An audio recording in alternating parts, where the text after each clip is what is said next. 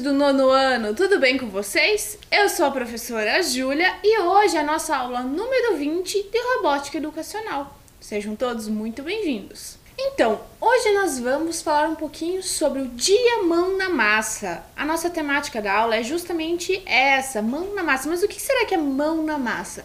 Vocês já ouviram esse termo em casa ou na escola? Então, mão na massa às vezes podemos fazer uma analogia quando estamos em casa, a mãe quando vai fazer um bolo, uma massa, e ela fala assim: "Ah, hoje eu vou colocar a mão na massa". Pois é, existe esse termo também, mas não é desse dessa história que estamos falando. Ou, por exemplo, na escola, vocês já viram, às vezes está acontecendo algum tipo de reforma ou em casa, e vocês verem o pedreiro ali colocando mão na massa também, ali colocando cimento, areia, fazendo uma massa. Mas não é dessa massa que estamos falando, é de uma, um outro tipo de mão na massa. Uma mão na massa que todo mundo pode colocar, inclusive você, estudante que está em casa ou na escola. Então vamos ver o que é essa mão na massa, como que surgiu esse evento. A mão na massa veio derivada do movimento maker. A origem desse movimento está no conceito de I, we, do it yourself, onde o estudante é o protagonista na sua aprendizagem. O DIY, we, surgiu nos Estados Unidos em 1920, quando as pessoas eram encorajadas a fazerem seus próprios objetos, reformas, preparo em casa e sem ajuda de profissionais com o objetivo de não gastar muito. Então, esse termo ele se popularizou em 1950, só então em 1950, mas até hoje ele é muito utilizado. E vejam só, é muito prático, às vezes em casa, precisamos fazer uma reforminha, é, precisamos fazer uma montagem de algum móvel e muitas pessoas já fazem essa montagem elas mesmas, porque às vezes o custo da mão de obra de contratar uma pessoa para fazer uma instalação ou até para reformar alguma coisa na sua casa ou até na escola, criar algo, custa muito caro. Então esse termo ele veio just, justamente trazer essa ideia de faça você mesmo. Com a evolução da tecnologia, trouxe uma grande necessidade de inovação, o que causou diversos impactos em diferentes segmentos. Por exemplo, o trabalho repetitivo e maçante das linhas de montagem industrial deixou de fazer tanto sentido após os robôs assumirem grande parte de, desse tipo de atividade. Como as pessoas elas desenvolviam vários trabalhos que às vezes passavam o dia inteiro fazendo o mesmo serviço, os robôs, eles entraram nesse percurso para facilitar o trabalho das pessoas. Então, com o surgimento da tecnologia, existiu essa inserção da robótica, do uso da robótica da tecnologia nas indústrias. Continuando ali, com essas inovações, as pessoas também se viram capazes de construir o conhecimento e não simplesmente de querer consumi-lo pronto. O mercado de trabalho, em geral, começou a ser impulsionado por novas ideias e projetos que refletiam essa vontade de reconstrução. Muitas escolas passaram a aderir a esse movimento e apostaram na cultura maker. Então, com a evolução ali, com, com o tempo, com a tecnologia, com essa inserção dos robôs, as pessoas tiveram mais tempo para produzir essa ideia de conhecimento, de aprender coisas novas e fa facilitando o, o trabalho no dia a dia na, no desenvolvimento de Faça você mesmo, de desenvolvimento de você conseguir fazer suas próprias coisas, sem precisar contra, contratar uma mão de obra mais cara. O movimento maker, como será que ele surgiu? Como, como que funciona esse movimento maker? Vamos entender um pouquinho ali na tela? O movimento maker tem como base a colaboração, troca de conhecimento, busca por soluções para problemas reais, proatividade, experimentação e prototipagem, também vamos ver ali na tela. A prototipagem é a arte de transferir ideias do âmbito conceitual para a realidade. Ou seja, o movimento maker, ele não é um movimento, vamos dizer assim, ah, eu estou praticando o movimento maker sozinha, vou procurar soluções e vou estudar sobre o assunto. Não, tem essa, esse viés, mas também a grande é, ideia do movimento maker é você trocar ideias com outras pessoas, ou seja, você está em movimento com uma equipe e com essa equipe você vai estar desenvolvendo projetos. Por exemplo, assim, na escola, eu quero criar uma solução é, para a minha escola que está com problema X. Então vamos conversar, jogar esse problema em grupo ali para tentar ver quais são as melhores soluções para esse meu problema, para daí então construir algo. Continuando ali, a expressão colocar a mão na massa remete à ideia ali de criar hipóteses, fazer testes, validar resultados, refletir e chegar a conclusões. O aprendizado está muito mais no processo do que das suas consequências. Então a mão na massa ela tem todo um caminho, um percurso. E dentro desse processo, você a pessoa que está realizando, né, está se envolvendo na mão na massa, ela vai fazer várias tentativas. Muitas vezes delas nem todas vão ser é, assertivas, vão ser corretas, vão dar um resultado ok. Mas com esses erros também vai ser direcionando para um novo caminho, para um novo olhar, para que esse projeto consiga chegar numa conclusão mais interessante. Continuando, o que é ser mão na massa? Vamos ver ali. Nós temos algumas palavras: imaginar, criar, compartilhar. Isso mesmo. Para você realizar uma atividade mão na massa, vem primeiro a ideia: o que será que eu quero? Então vamos imaginar, vamos tentar escrever essas ideias, vamos tentar levar para o mundo das ideias. Depois, eu vou colocar a mão na massa de fato, vou criar, vou experimentar, vou testar, vou ver se aquela minha ideia de fato vai dar certo ou não. Por exemplo, vou precisar construir uma caixa. Quais são as medidas? Se aquela medida que eu tenho ali naquele papelão, naquele papel é ideal, aquela gramatura do papel. Depois, vou compartilhar e fazer essa reflexão. Por quê? Preciso ver também, tipo, tá, mas essa caixa para qual servente, qual qual é o objetivo dela? Ah, é carregar peso, mas eu fiz uma caixa muito é, leve ali que se eu colocar um peso, uma, algo muito pesado, vai se desmanchar. Então, nessa ideia de compartilhar, trocando ideias para tentar melhorar o seu projeto. E isso é como se fosse uma espiral e inicia todo esse processo novamente. Continuando ali na tela. Quando existe a curiosidade, a possibilidade de imaginar desenvolve conexões que possibilitam o desenvolvimento de projetos inovadores. Logo, imaginar é um dos pilares importantes da mão na massa. Ou seja, a curiosidade, todo esse processo é muito importante. Pensar fora na caixa, que nem aquela animação está ali é, para vocês, vocês estão observando. É tentar pensar diferente, não reproduzir mais do mesmo. É fazer algo inovador, criativo, original.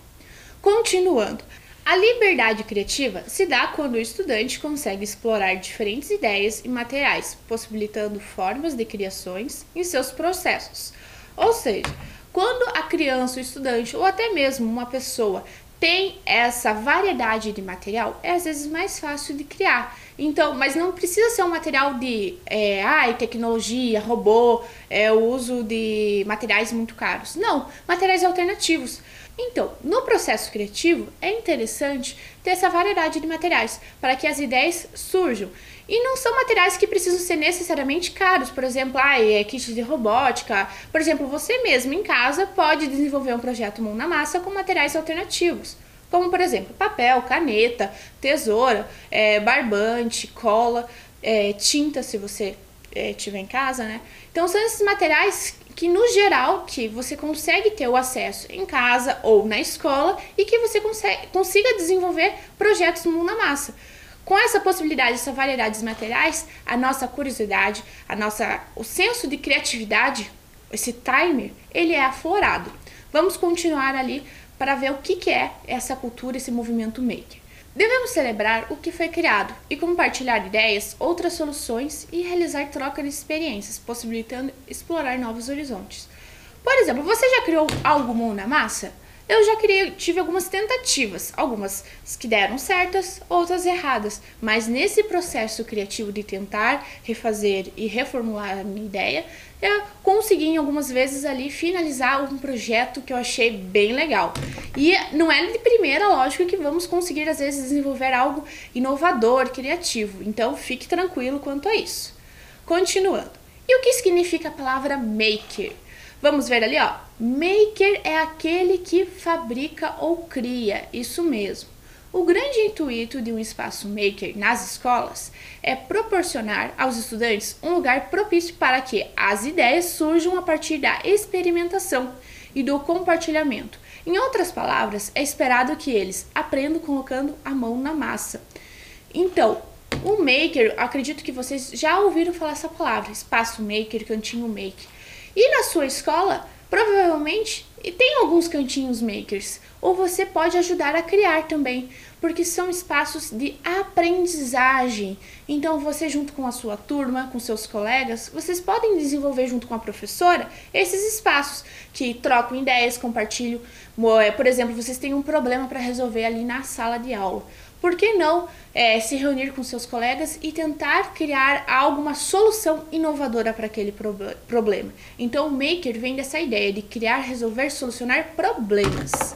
Os espaços makers têm formato mais livre, podendo estar ligados ou não a uma instituição de ensino, pesquisa ou empresa, sem obrigações quanto à variedade de equipamentos e ao funcionamento do espaço. Por exemplo, então, na sua casa é possível criar um cantinho maker, um espaço, ou na sua escola, em qualquer lugar. Porque o espaço maker, ele é mais livre, ou seja, você não precisa de equipamentos, por exemplo, uma impressora 3D, uma cortadora laser. Com materiais alternativos, já é possível sim criar um cantinho maker.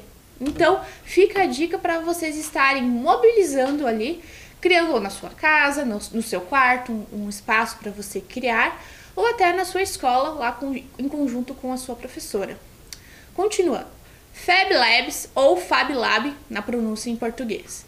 Dentro da cultura maker existe um conceito que é o Fab Lab, que nada mais é do que um espaço que possui diversas ferramentas controladas pelo computador e materiais para produção rápida e objetos, estimulando a uma inovação e a criatividade por meio de prototipagem. Então, os Fab Labs, como são conhecidos aqui em Curitiba, eles são lugares co-criativos, ou seja, você pode ir até um Fab Lab ou a comunidade, estudantes, empresas, são lugares que existem vários tipos de equipamentos cortador a laser. Já vamos ver quais equipamentos que existem nesses Fab Labs. Mas que basicamente, se você tem um projeto e quer colocar ele por exemplo, impresso numa impressora 3D, é, fazer um protótipo, fazer uma produzir isso mesmo como se fosse uma maquete, algo para que for, é, para facilitar e auxiliar no processo criativo ali, que você tenha ele em mãos. É possível ir nesses Fab Labs, porque a ideia é você trocar conhecimentos com outras pessoas, porque elas podem estar te ajudando até ampliar o seu projeto, e você também está colaborando com, com a sociedade. Então são espaços muito interessantes, muito legais e que aqui, aqui em Curitiba eles existem. Vamos ver ali na sequência. Porém, com algumas regras específicas, todo Fab Lab precisa ter no mínimo cinco tipos de máquinas: impressora 3D, cortadora a laser, cortadora de vinil e entre outros maquinários. Então vocês vejam que é um espaço bem completo com muitos materiais disponíveis para que a população, a sociedade ali, tenha acesso a esses equipamentos. Quais são os objetivos de um Fab Lab? Vamos ver?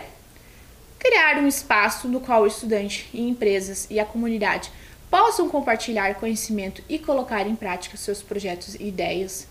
Facilitar o acesso a ferramentas de fabricação convencional e digital a seus usuários. Ou seja, basicamente, como eu falei para vocês, que é compartilhar ideias, trabalhar em conjunto, trazer os seus projetos para a realidade.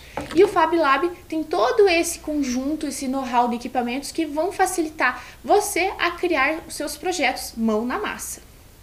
Vamos conhecer então o Fab Lab aqui de Curitiba, que fica no Cajuru? Vejam ali na imagem.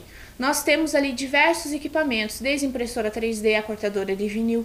Um espaço, vocês estão vendo ali, cadeiras, ali é um espaço de troca de experiências. Também se a pessoa precisar apresentar o seu projeto para outras pessoas, tem um espaço ali de convivência. Também vários outros é, movimentos que nós temos ali, vejam ali na mesa, que são impressoras 3D, cortadora a laser, como eu comentei com vocês antes. Então, é um espaço co-criativo muito legal que existe aqui em Curitiba e que fica no Cajuru.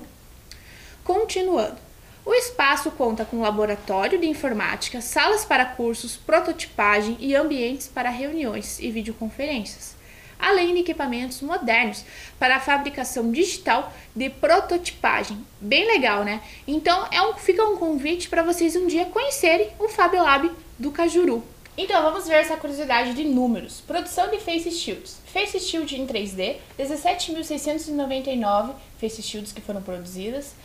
É, face, face shield laser, 3.585, totalizando então o número total de produções de Face Shield feitos lá no Fab Lab em parceria com voluntários, 30 voluntários, foram 21.284 Face Shields. Um número muito grande e que ajudaram todas as pessoas ali, tanto os profissionais da saúde, os servidores, os guardas municipais, e fica o nosso agradecimento para a Fab Lab por ter feito todo esse processo de criação ali de face shields. Agora nós vamos conhecer um pouquinho como que é lá dentro, porque nós vimos uma foto, mas vamos ver na realidade ali o, a impressora 3D em funcionamento, a cortadora laser, como que é todo esse processo? Vamos ver então um vídeo contando um pouquinho como que funciona o projeto, o trabalho no Fab Lab. Tem uma boa ideia tecnológica e quer botar em prática? Não pule esse vídeo e conheça o Fab Lab.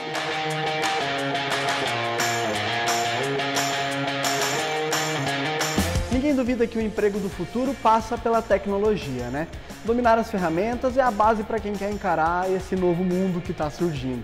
E é aqui, no Fab Lab, que se prepara o profissional da manhã.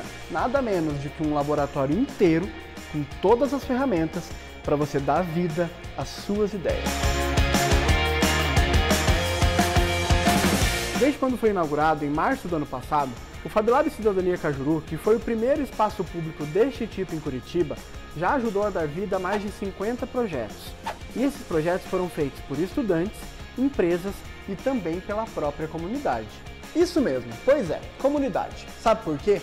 Aqui não é preciso que você seja um profissional ou um estudante para botar em prática uma ideia que você acredite que possa ter futuro.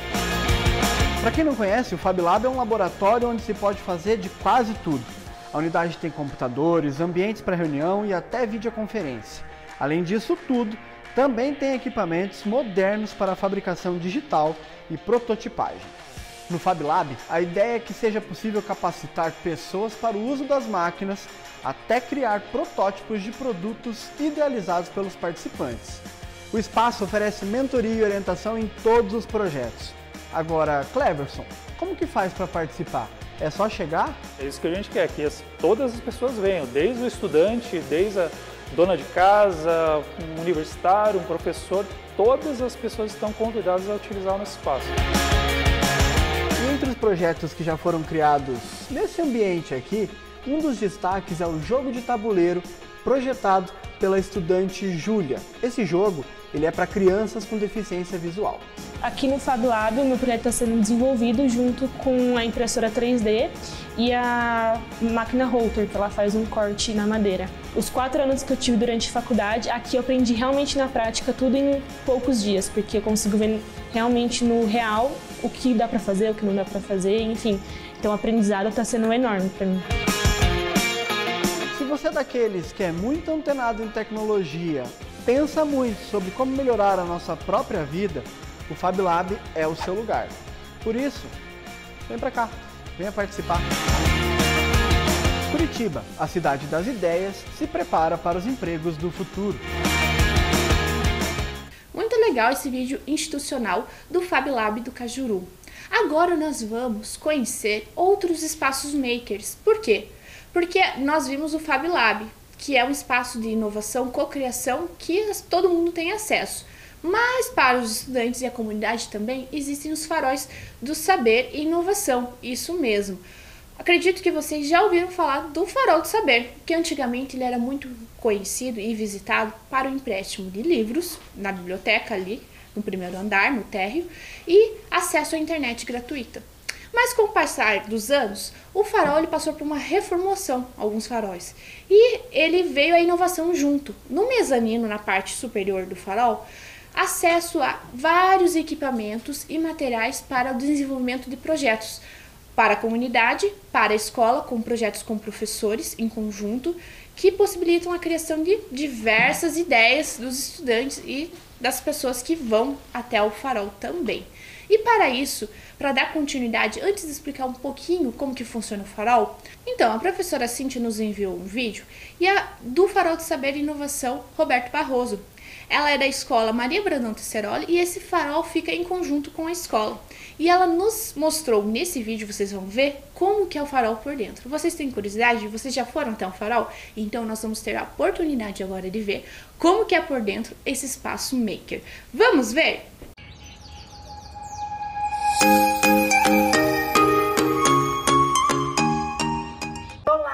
pessoal, eu sou a professora Cíntia do Espaço Maker do Farol do Saber e Inovação Roberto Barroso da Escola Maria Clara Brandão Tesseroli. Venham conhecer um pouquinho do nosso espaço e sejam muito bem-vindos!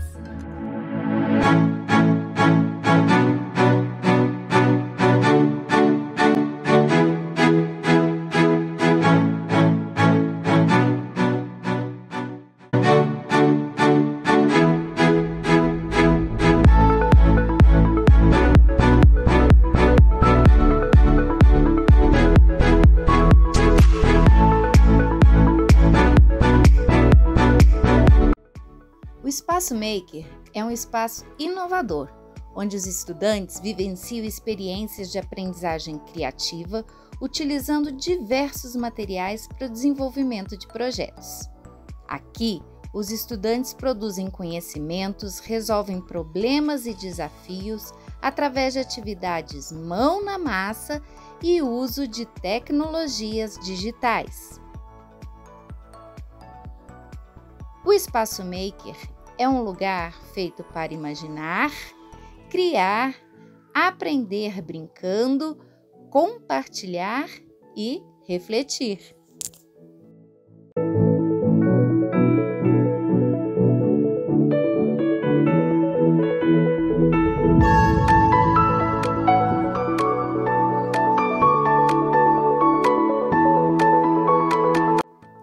As oficinas acontecem no contraturno escolar para participar, os estudantes se inscrevem de acordo com o seu interesse nessas oficinas.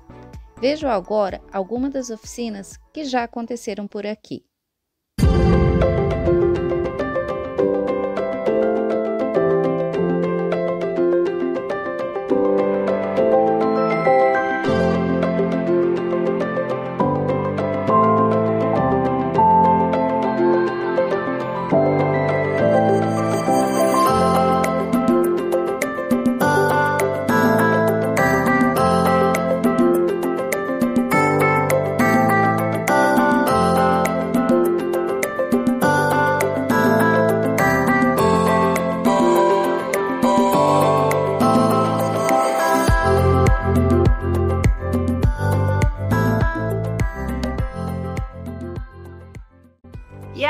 Gostaram? Essas... Muito obrigada, professora Cintia. Seu vídeo ficou maravilhoso e podemos conhecer, né, com esse vídeo, conseguimos perceber como que é encantador o trabalho dos faróis de saber inovação.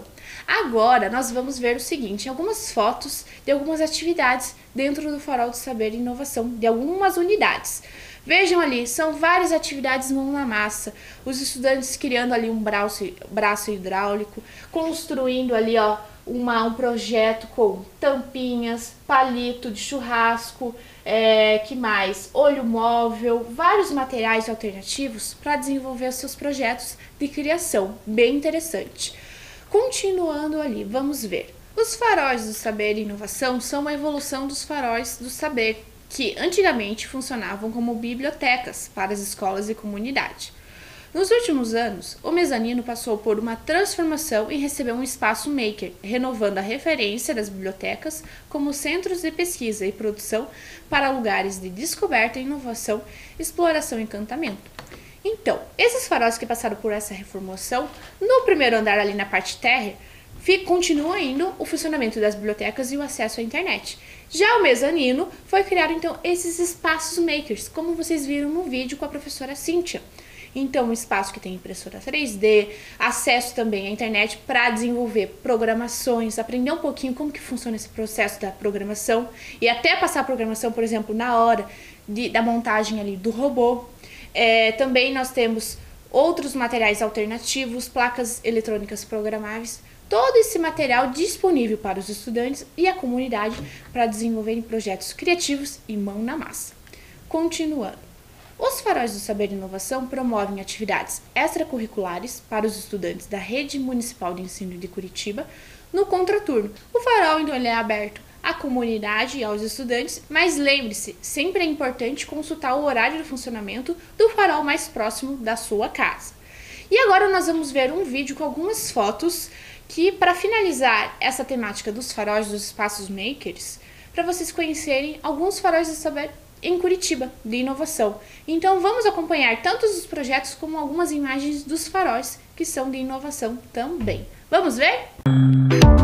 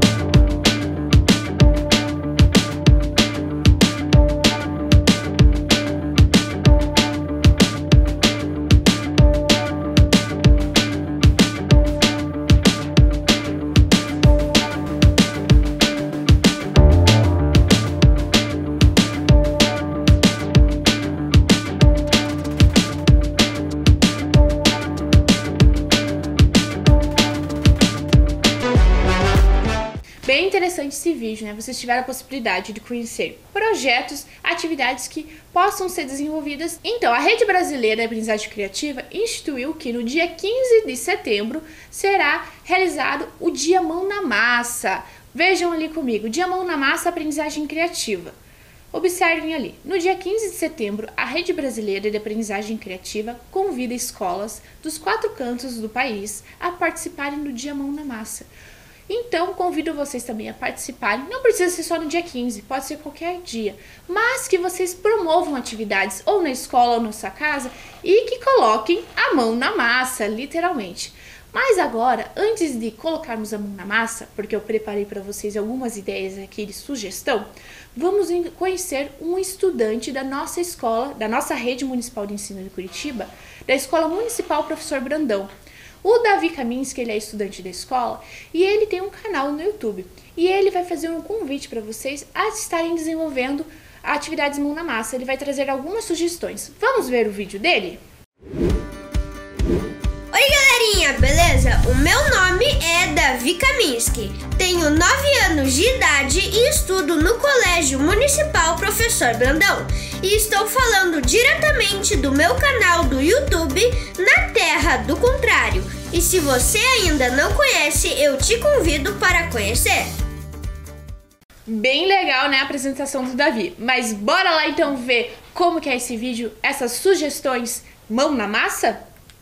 Fala galerinha, beleza?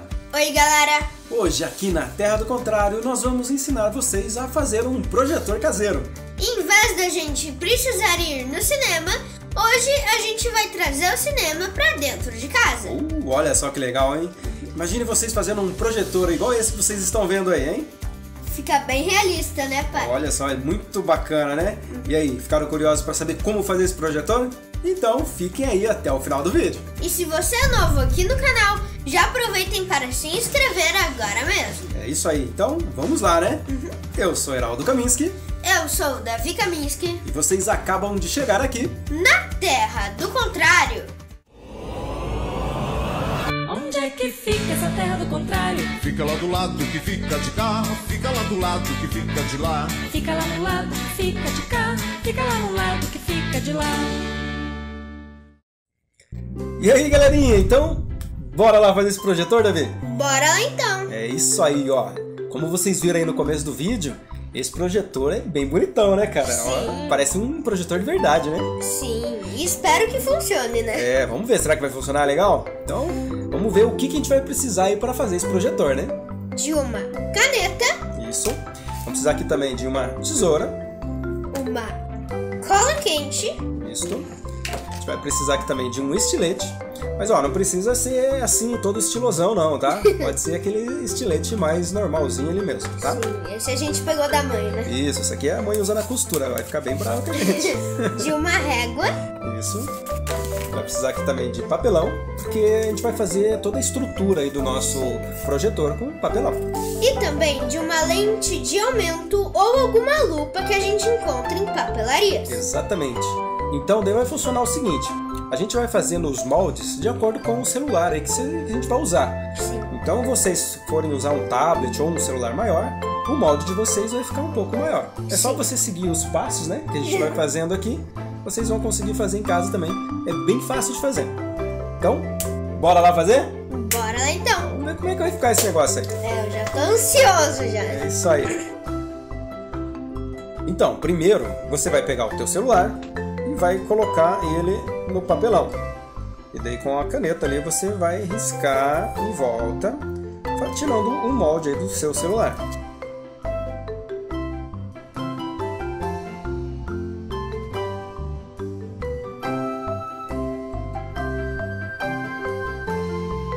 Beleza? Ó, igual, igual tá aqui. Ó, então, você vai fazer dois assim, ó. Dois retângulos, que é o formato do teu celular beleza? E depois disso, você vai pegar esse molde e vai jogar em cima do papelão ali, porque é através dele que a gente vai fazer a estrutura do teu projetor. Então, agora a gente põe o molde aqui e faz uns cortezinhos no papelão. E isso a gente vai fazer no papelão todo, pois na hora de dobrar vai facilitar bastante. E isso a gente vai precisar fazer duas vezes. Isso, isso mesmo. Mesmo porque a gente tem dois pedaços, né? Que é a parte de trás e a parte da frente aí do nosso projetor. Aí a gente vai pegar a cola quente e vamos colando ali toda a volta ali do papelão nesse molde que a gente fez com o celular, beleza? E vamos fazendo toda a volta. E depois vai pegar a sua lente, vai colocar bem no centro aí do seu molde de papelão e vai desenhar para que você possa recortar e colar a sua lente bem no centro ali, beleza? Então ele vai ficar desse jeito aqui, vamos mostrar aqui para vocês. E depois que vocês finalizarem o seu projetor, vão ficar aí com duas partes assim, ó. Sim, ficou bem bonito, né? Bem bonitão, daí a gente ainda passou uma fita em cima dele para dar uma corzinha, mas se vocês quiserem, vocês podem pintar, né? Deve deixar ele bem colorido. Fica do jeito que vocês quiserem. E ó, daí ficam com duas partes e uma encaixa na outra assim, ó. E é aqui que você vai regular, ó. Tá vendo?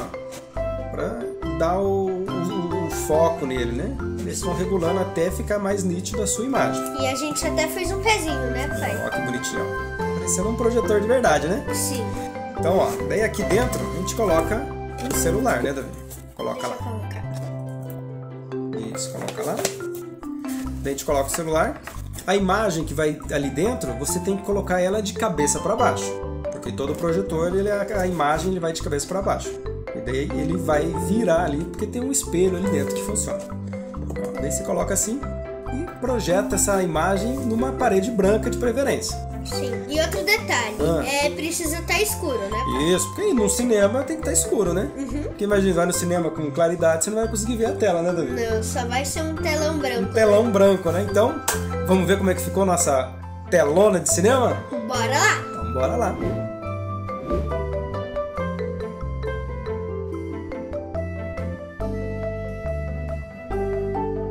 E aí, galerinha, olha só, ó, tô no cinema. Muito legal, né? E ó, vou dar uma dica bem bacana pra vocês. Faça esse projetor e criem histórias aí, contem várias historinhas e projetem na sala aí pra família toda aí se reunir e ver as histórias de vocês. Bacana, não é mesmo? Ó, creio que só isso aí já vale a sua inscrição e o seu like aqui no canal, né? Valeu, galerinha! Uh! E aí, galerinha, o que, vocês acharam aí do nosso projetor? Muito legal, né, galerinha?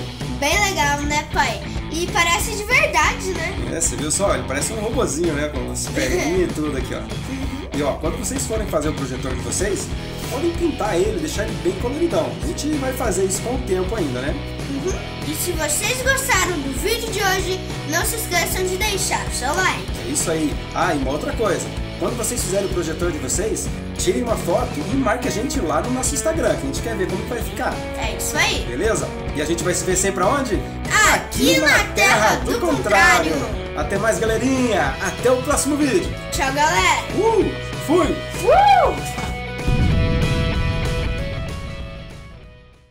Muito obrigada, Davi, por enviar e encaminhar esse vídeo para nós no seu canal. E vocês viram que o Davi ele produz esse vídeo, esses vídeos com o seu pai em colaboração. Bem legal, né? E agora nós vamos colocar a mão na massa também, como o Davi ele produziu ali, montou um projetor maker, nós vamos fazer algumas ideias e atividades aqui. Vamos lá, mas para isso, vejam ali, acompanhem comigo. Que tal criarmos a nossa caixa mão na massa? Mas por que criar uma caixa mão na massa? Porque para desenvolver essas atividades precisamos separar alguns materiais. E vocês viram que eu coloquei diversos materiais aqui alternativos? Isso mesmo. Então, eu tenho uma caixa aqui que é a nossa Robox, que é a nossa caixa mão na massa, e eu vou colocar esses materiais, por exemplo, uma garrafinha, PET, palito, papelão, são materiais que vão facilitar o nosso trabalho maker. Fita adesiva, cola, mais palitos, canudinho, todos esses materiais, ó, elástico, tesoura, barbante, canetão, canetinha, vão facilitar o desenvolvimento aqui e aguçar a nossa curiosidade, nossa ideia criativa aqui para fazer atividade. Aqui, olha só, um rolo de papelão, uma casinha aqui, ó, bola, fita, crepe. Ok, agora que eu já tenho a minha caixa, mão na massa, pronta, preparada para desenvolver as atividades, vamos ver a nossa primeira sugestão. Deixa eu colocar essa tesoura aqui também. Vamos lá. Aqui eu vou mostrar para vocês uma caixa que eu já pré-montei para vocês, para vocês verem como que ela funciona. Qual que é a ideia dela? Vamos ver aqui, olha só. Olha o formato dela. São várias colmeias, isso mesmo. Mas basicamente, se a gente tirasse essa parte do papelão e eu fosse criar ela do zero, basicamente eu iria formar um jogo da velha. Eu iria realizar alguns cortes aqui. Vou mostrar pra vocês. Como que eu montei essa caixa, basicamente. Peguei uma caixa, a parte, e fiz alguns cortes para realizar o encaixe para que eu consiga então formar essas mini colmeias, tá? Então vocês viram que eu fiz o corte aqui desse lado. Vou fazer o corte novamente do outro papelão. E vejam que, olha só, ficou assim. Agora fica mais fácil para encaixar. Olha lá, já formei uma mini colmeia, certo? E eu precisaria de mais papelão para fazer esses outros cortes e para formar esse jogo da velha, isso mesmo. Então é um jogo da velha maker. Mas é um jogo da velha é, simplesmente que eu tenho que, com algum colega, colocar as pecinhas e ver quem completa primeiro na diagonal ou na horizontal? Não, ele é mais complexo. Eu fiz um outro tipo de jogo da velha. Vamos ver. Vocês vejam que em vez de pintar eu colei, papel colorido. Mas se vocês quiserem, né, em casa, vocês podem estar pintando com giz de cera, canetinha ou com tinta, tá? Agora eu vou explicar para vocês como que funciona esse jogo da velha. Qual é a, o que, que a robótica está por trás desse jogo. Eu montei aqui uma catapulta maker. Para isso, como que eu faço para confeccionar ela do zero? Preciso de dois palitos de sorvete. Preciso de elástico. Vários elásticos. E uma pecinha, por exemplo, aqui eu posso colocar essa fita adesiva para dar meu ponto de apoio ali, ó. Deixa eu trocar por essa pecinha aqui menor aqui, ó. E depois é só passar o elástico que a minha catapulta está pronta. Nem essa aqui, ó. Vou passar um elástico para vocês verem. Vou passar primeiro aqui sem o, o, meu, o meu, a minha pecinha.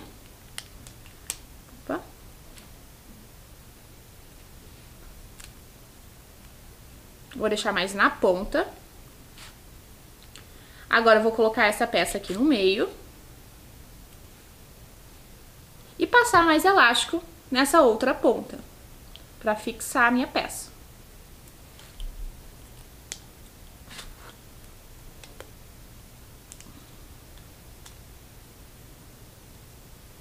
Pronto. Se eu quiser colocar mais elástico para ficar mais fixa, também posso.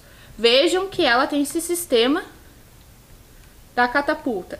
Mas por que uma catapulta para um jogo da velha? Então, essa é a parte maker que vamos criar. O que que acontece? Para eu completar aqui com meu colega, por exemplo, se eu fosse jogar em dupla com outro par, para eu conseguir colocar uma pecinha dentro dessas colmeias, eu preciso acertar com a minha catapulta. Então, vou fazer o teste aqui. Vou jogar uma pecinha. Deixa eu fazer o seguinte, eu vou trocar essa pecinha que eu vou utilizar essa minha catapulta aqui. Então, vamos reorganizar aqui o espaço para que o funcionamento seja correto.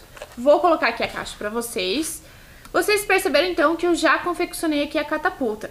Para ela ter um funcionamento adequado, eu preciso colocar que essa abertura seja contra a caixa, para que quando a minha peça se desloque aqui, entre em contato ali, consiga cair na colmeia, no espaço. Vamos fazer um teste então, para vocês verem. Vamos ver se vai dar certo também, né? a nossa catapulta aqui, se o elástico, o ponto de apoio ali que eu coloquei, aquela pecinha, está correto. Vamos ver? Então, eu coloquei ali minha pecinha. Vou impulsionar, olha só. Fiz um movimento aqui, com a força um pouquinho fraco. Então, vamos colocar um outro peso que vou flexionar aqui o palito um pouquinho mais. Olha lá, conseguir marcar, marcar um ponto. Marcando um ponto, então eu vou colocar uma pecinha, isso mesmo, essa peça vai estar representando minha primeira peça aqui do jogo da velha. Então vejam ali, ó, consegui marcar o ponto, a minha pecinha ela caiu nessa primeira colmeia, ok? Daí, ó, qual é a ideia do jogo? A ideia do jogo é o seguinte, quando o estudante, a criança, conseguiu ali acertar, marcar o ponto na colmeia, pode ser feito um desafio. Para que essa pecinha fique dentro desse espaço aqui, delimitado, ela tem que responder uma questão. Por exemplo, nós podemos fazer um quiz, um desafio sobre os estados físicos da água. Mas aqui eu estou só representando a sugestão da atividade para vocês. E se a outra dupla fosse jogar agora, ela poderia aqui, ó, separar as pecinhas verdes. Se ela acertar em outro espaço da colmeia, ela vai colocar a sua pecinha também. Vamos ver ali se, ela, se eu consigo. Opa! novamente. Opa! Calma aí. Caiu! Não tem problema, mas só representando para vocês que a ideia é não é tão simples como um jogo da velha, como é algo maker, mão na massa, foi feito todo o processo de confeccionar a caixa e além da caixa para realizar o jogo, o funcionamento do jogo, foi feita essa catapulta para acertar as pecinhas ali dentro e marcar o ponto. Então, essa é a nossa produção Maker para o Dia Mão na Massa. E eu convido todos vocês, caso vocês tenham uma atividade, uma foto ou um vídeo, para nos enviarem, encaminhe por e-mail ali, robótica.curitiba.pr.gov.br. Eu vou ficando por aqui e até a próxima aula. Tchau!